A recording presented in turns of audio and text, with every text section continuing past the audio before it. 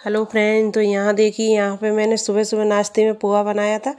Yummy yummy जी देखिए, आ जाइए, test करिए। तो देखिए, चलते हैं, आगे बढ़ते हैं, ये बनाना शुरू करते हैं। तो यहाँ पे मैंने पोहा लिए, अपने हिसाब से आप ले लीजिए। और मैंने लिए मूंगफली दाने। तो पोहा निकाल कर मैं भिगोने जा रही हूँ। पहले मैंने उसको भिगोया पानी में पानी में भिगो के रख दिया। फिर मैंने मूँगफली दाने लिए। उनको भी भूनने के रख और आलू।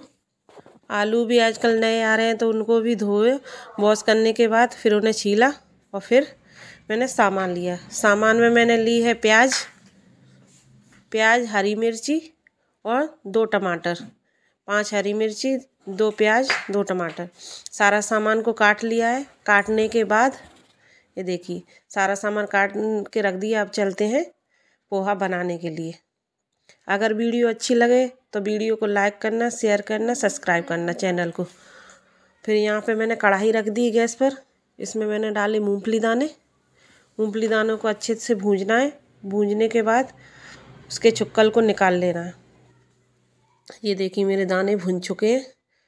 अब चलते हैं। पोहा बनाना शुरू करते हैं। तो यहाँ पे मैंने कढ़ाई में ऑयल डाला।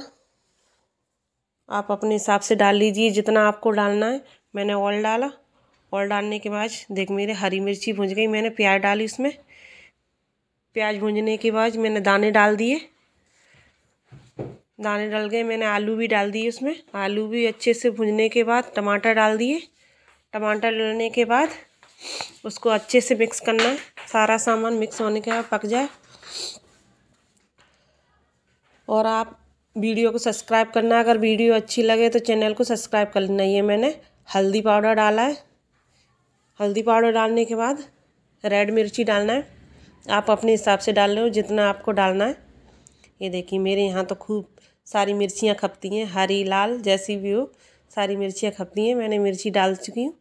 उसके बाद डालना है नमक। नमक डालने के बाद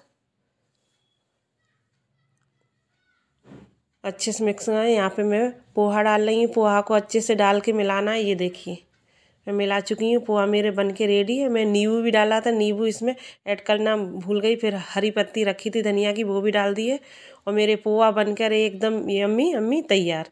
तो आ जाइए, आप भी खा लीजिए। ये देखिए, मैं आप लोगों